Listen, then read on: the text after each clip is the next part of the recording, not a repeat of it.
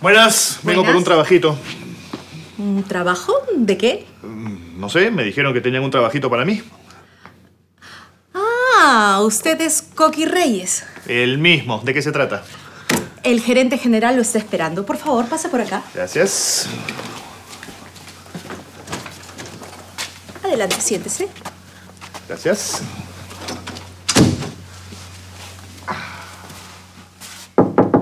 Jefito, el especialista acaba de llegar. Ah, ya voy. Lo dejo, con permiso. El mismo gerente general me manda a llamar.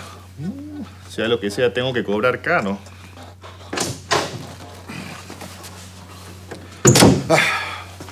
Coqui Reyes, necesito que me hagas un favor. ¿Favor?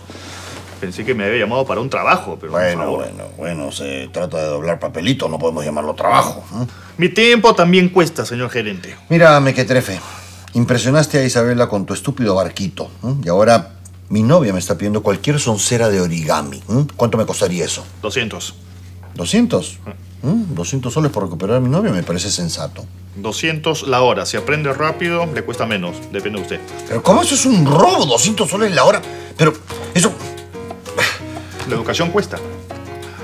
prefi- prefiero comprarle una joya. Bueno, hágalo, yo no le llamo a usted. Adiós. Un momento. Un momento, empecemos ya. Papel. Para recordar la infancia de mi hijo, le pedí a Dolores que prepare lo que comía todos los días. Eh, espero que sean de su agrado. Papá, ¿por qué no? Pero sí, a mí me encantaría probar lo que comías de niño. ¿Puré? No, no es puré. Cuando me di cuenta que el sobrepeso de mi hijo le causaba consecuencias sociales, ¿Tuviste problemas de sobrepeso? Sí, yo era gordito en el colegio, pero no interrumpas. como decía, para evitar las burlas y el escarnio, alimenté a mi hijo con esta masita proteínica que tiene todos los nutrientes y nada que no sea de provecho para el organismo. ¿Y funcionó? Por supuesto.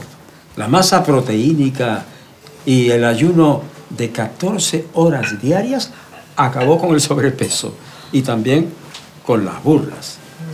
Era esto todos los días. Bueno, la probaré. Provecho.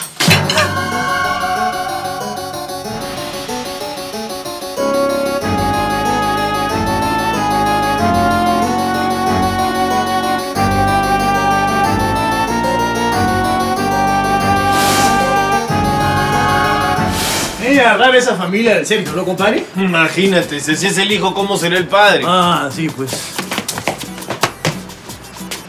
¿Estás viendo lo mismo que yo? Sí, compadre. ¿Estás viendo ese angelito colgando ropa en nuestra azotea? Ah, No, no hay otra explicación, hermano. Es un ángel. Perdón, perdón. Es un ángel. Misha, Misha, vamos, vamos a la casa. Pasa, pasa. Pasa, pasa, Misha, pasa. Perdón, recién acabamos de casarnos. Se está acostumbrando. Ah, ya. ¿Qué? Qué raro. Es la quinta vez que llamo a Coqui y no me contesta.